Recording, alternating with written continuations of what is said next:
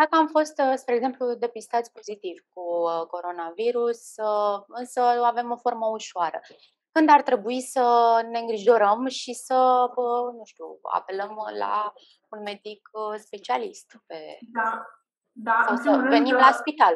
În primul rând, este obligatoriu ca testul pe care l-am făcut să fie luat în evidență, adică să chemăm ambulanța să facă testare sau să mergem la o, un spital care face testare pentru a face concomitent cu testarea și evaluarea.